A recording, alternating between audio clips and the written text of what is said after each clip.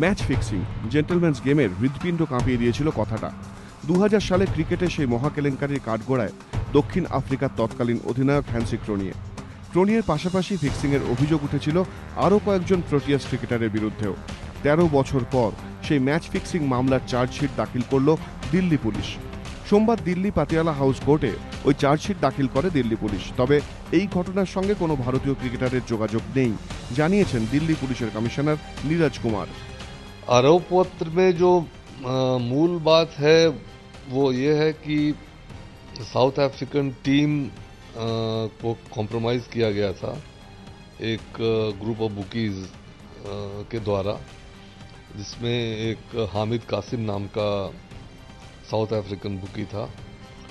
साथ में एक संजीव चावला जो लंदन बेस्ड है वो था। अ, तो इसमें मुख्य बात यही है कि अ, जो मैच फिक्सिंग हुई थी वो साउथ अफ्रीकन प्लेयर्स के माध्यम से हुई थी और इसमें हमारे केस में किसी इंडियन प्लेयर्स का नाम नहीं आया তেরো বছর পর চার্জশিট আইপিএল স্পট ফিক্সিং কাণ্ডেও কি একই রকম দীর্ঘসূত্রিতা এক সপ্তাহের মধ্যেই জমা পড়বে চার্জশিট জবাব দিল্লি পুলিশের কমিশনারের চার্জশিটে থাকবে দাউদ ইব্রাহিমের নামও করাচিতেই রয়েছে দাউদ জানালেন নীরজ কুমার आईपीएल सिक्स में जो आपने रहस्य उद्घाटन किया उसमें आपने दाऊद को जोड़ा दाऊद आखिर आईपीएल सिक्स से जुड़ा कैसे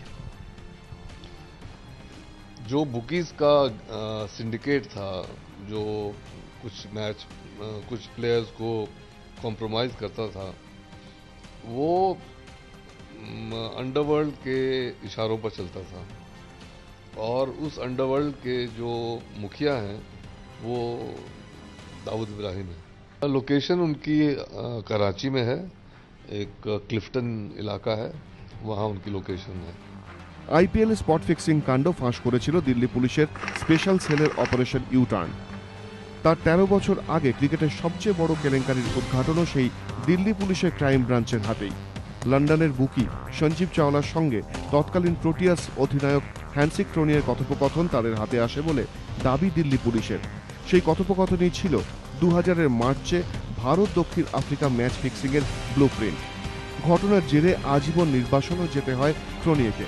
শেষ পর্যন্ত তেরো বছর পর সেই ঘটনার চার্জশিট দাখিল করল দিল্লি পুলিশ। এবিপি আনন্দ।